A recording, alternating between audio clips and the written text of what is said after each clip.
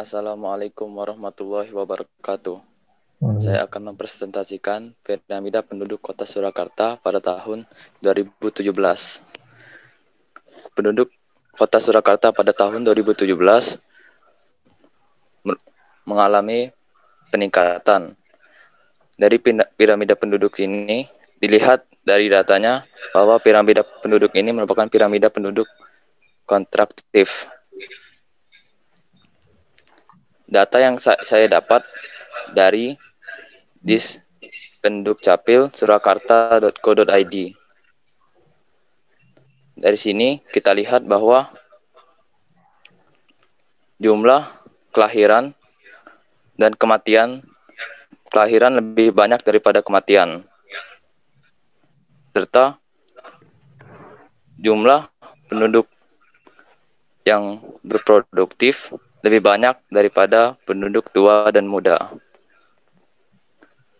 Oleh sekian dari saya. Wassalamualaikum warahmatullahi wabarakatuh. Waalaikumsalam. Assalamualaikum warahmatullahi wabarakatuh. Waalaikumsalam warahmatullahi.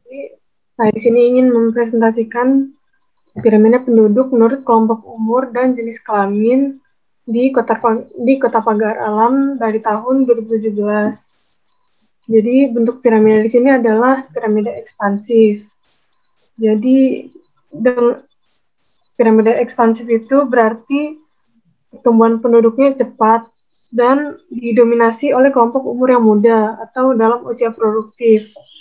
Jadi karena banyaknya usia produktif, penduduk di sini dibebani tanggung jawab untuk um, bekerja dan menanggung beban yang penduduk lain yang masuk kategori usia non produktif dan belum produktif.